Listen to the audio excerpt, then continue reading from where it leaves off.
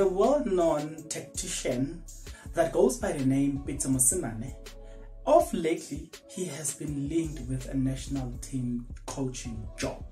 Then you wonder, which is this which is this national team that are interested to lure Pitso Mosimane to their squad? Don't worry, Farpost have revealed certain information that I'm willing to share, I will divulge much of this information provided that you are interested. Are you interested? Ah, guys, please stick around. To those that will stick around, guys, if you're not yet subscribed, what are you waiting for? Because to subscribe, it is free. To like the video, it is free. To comment in the comment section below, good people. It is free of charge. So why not? Why not? You know, do the honorable thing. Comment here, man. Like the video. Share. I mean, come on, guys. And if you like, guys, you can follow me on Instagram and TikTok.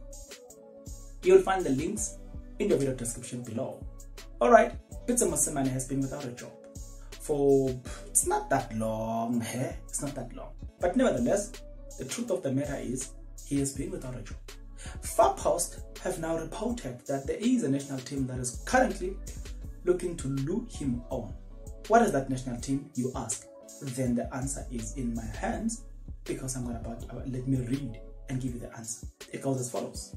Former Bafana Bafana coach Pitso Mosimane has been linked with a national team job just over a month after parting ways with Egyptian giant Al Ahly. Mosimane is recently unattached and his future has been subject to speculation. The latest report linked the former Mamelodi Sundowns mentor to an Iran national team or Iraq national team job the South African is part of the three coaches shortlisted for the uh, Plum Post. According to Iran media, Mosimane Portuguese mentor, um, Mosimane Portuguese mentor Antonio Casmer, yeah, yeah, yeah, guys, I don't know that name, who coached the Cameroon national team and ex-France um, national team Bernard Casoni are the front runners of, of for the post. Well, with me, I would say congratulations to Upitso Mosimane, just to be mentioned along the most successful coaches in the world. Just to be mentioned, Nje. And the fact is, yeah, you're going into Iraq to coach a team there. Amen, come on. If better salute to Upitso Mosimane.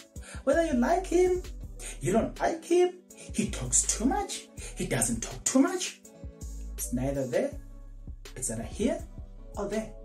Nonetheless, the only way for me to know what you've got to say about this situation, it is for you to get into the comment section below. Here, tell me what you think about this move. Would it be a possible one? Would it be good for Peter Mosimane? Is Peter Mosimane a coach for a national team or is a coach for a club? You answer that in the comment section below.